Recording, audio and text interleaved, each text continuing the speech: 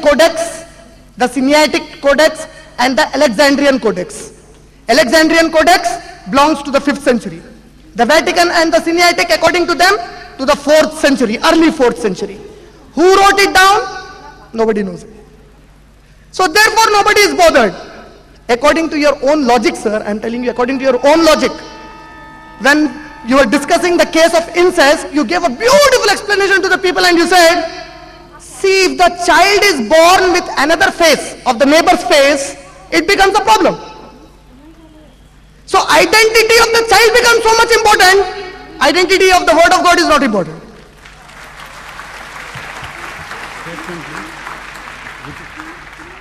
Identity of the child who is the true father becomes so important. But the identity of the word of God, whoever writes it, no problem. We are ready to take it wholesale. And thank you very much, sir, for considering my pain that I took to write down the chart. I took it with sincere devotion and prayer to Allah that if that would have made you to understand the truth, I would have been the, the most honorable person on earth today. But it's all Allah. فَذَكِّرْ إِنَّمَا أَنْتَ مُذَكِّرْ لَسْتَ عَلَيْهِمْ بِمُسَيْتِرٍ My job is only to convey you and to convey everybody. I am not here to convert anybody.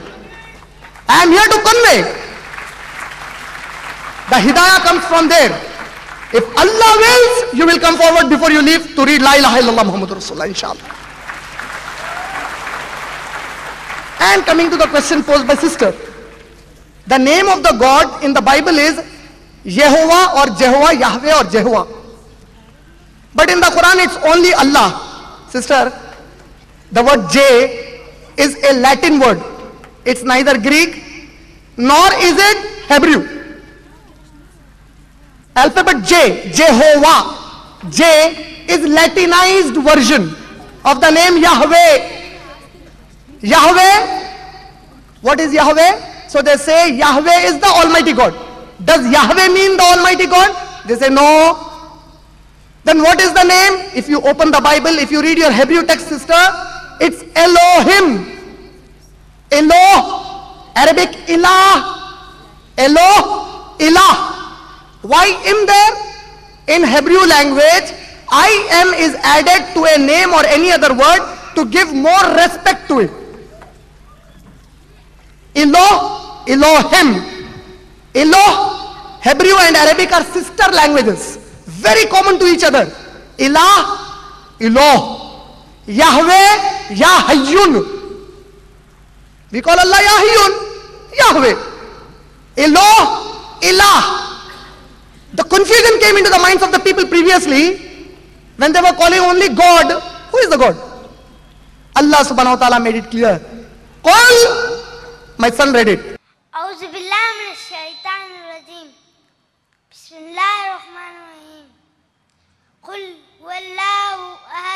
My son read it for all of you. He conveyed the message to all of you. Bismillah ar-Rahman ar-Rahim. Surah Ikhlas, Surah number 112, and number 1, 2, 3 and 4. Call! They are asking you who is the God? Say to them, Who Allahu Ahad. He is Allah, the only one God. Allahu Samad. He is independent. My daughter translated it. He is independent. He does not depend upon anyone. Allahu Samad. Lam yalid wa lam yulad. He has no parents. He does not beget children. It's a human work. It's a lower animal function to beget children. God doesn't do it. Allah said in the Quran, in Surah, Rahma, Surah Maryam, Surah number 19, ayah number 88, 89, 90 and 92. وَقَالُوا اتَّخَذَ الرَّحْمَنُ وَلَدًا And they say that the most gracious has begotten a son. لَقَدْ جَيْتُمْ شَيْئًا نِدَّا It's the dirtiest thing that anyone can utter against Allah subhanahu wa ta'ala to say that Allah has a illegitimate child. لقد جئتم شيئا तुम تكاد السماوات यतफत्तरनाहु منه if we give the sense of what they utter against the almighty god allah the heaven will burst upon them fatanchaqul ardu the earth will split open and take them inside wataqirrul jibalu hadda the mountains will fall down in utter ruin why andau rahmani walada because they boasted and they said that the most gracious has begotten a son Therefore, Allah reacted and said, Allah does not beget children.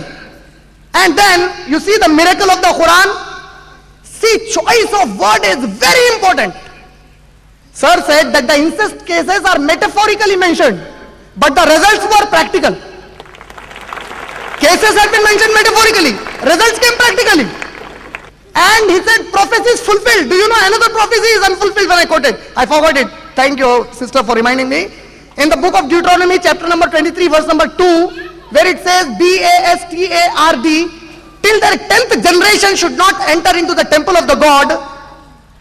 I told you about the genealogy given of Jesus in Matthew chapter number 1, verse number 3. There, the Pares, they made it, it's pares in Old Testament, it became Pares here. So that the scent, the original scent of the name doesn't go to anybody.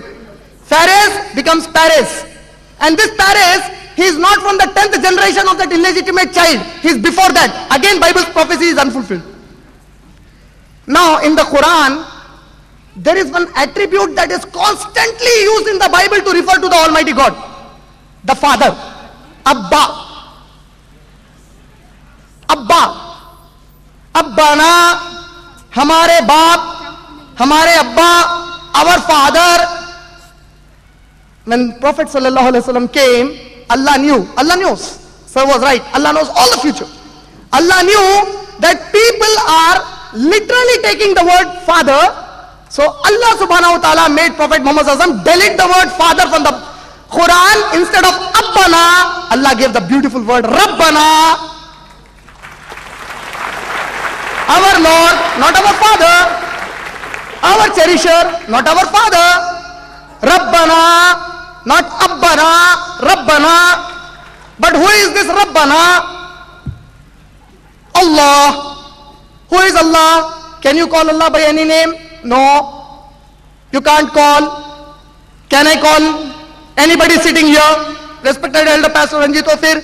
He has got his identification. I cannot call him Tommy, Julie, anything. He has his own identification.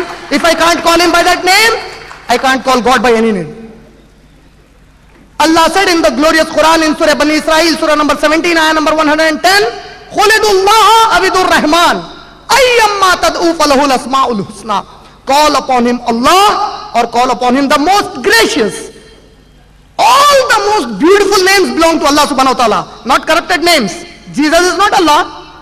The moment you say Isa, Jesus, you get a picture of a creation, not the creator. Ar-Rahman, it's a perfect name. Eloh, Yahweh, Jehovah are not the perfect names of Almighty God. Allah, the perfect name. Allah is derived from the root Arabic word ilah. Elohim, ilah. From ilah, it's Allah. Our kalima is La ilaha. There is no God illa Allah except the God.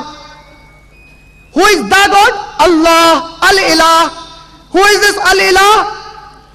Ilah, the Arabic word, has got basically six meanings. One of them is Al-Malu. What is Al-Malu? Al-Malu means the Almighty God towards whom the whole creation rushes in utter love for their own peace.